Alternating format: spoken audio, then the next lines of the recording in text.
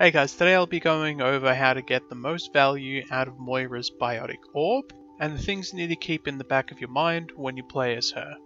The main thing I'll be showing is how the orb bounces off surfaces, and how you can maximize the value you get from the orb by using the surfaces on the map. To make this video I'm using the workshop code ESXBZ. This is a Moira Orb Trainer, I'd recommend that you save it as a preset so that you can use this later.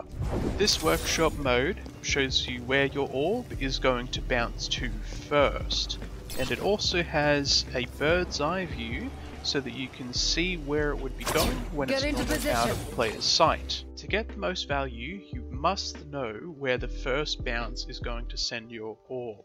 Onwards from there, you can start to practice where the second bounce will take it, but it's paramount that you at least know where the first bounce will send it. An easy way to get value out of the orb is to throw it between two 90 degree facing walls, so it just bounces between the two.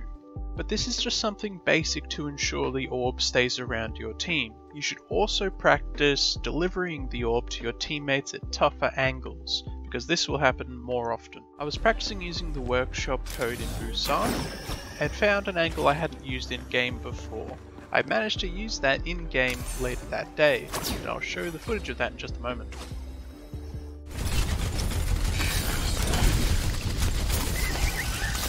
Falling into the layer. Get into position. Tell me how this feels. Just to be clear, throwing orbs on these strange angles isn't what you need to be doing all of the time. Sometimes just throwing the orb into a small room or through the main choke will get you the most value.